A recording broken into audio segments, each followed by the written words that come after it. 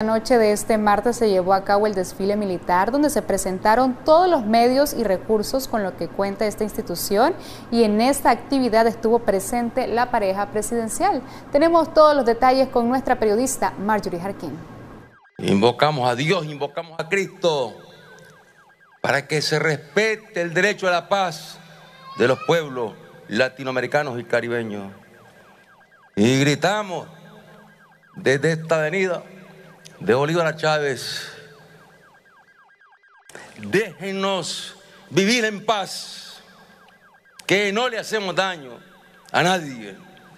Queremos paz, seguridad, estabilidad para lograr justicia para nuestros pueblos.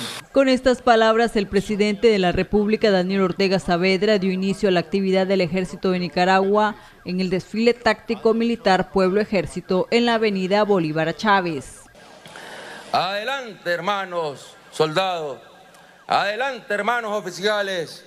Adelante, que el pueblo marchará con ustedes esta tarde. 3.521 efectivos del ejército participaron en el 40 aniversario de fundación. Se formaron 38 bloques de las diferentes especialidades, mostraron 267 medios militares para proteger la soberanía nacional y 300 mujeres de armas formaron parte de la demostración.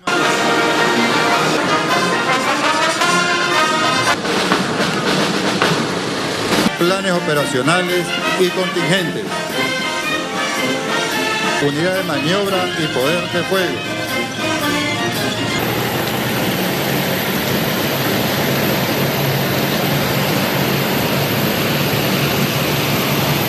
En el desfile táctico Ejército Pueblo participaron delegaciones de la Federación de Rusia, Venezuela, Estados Unidos Mexicanos, República de China, Taiwán, Honduras y Guatemala.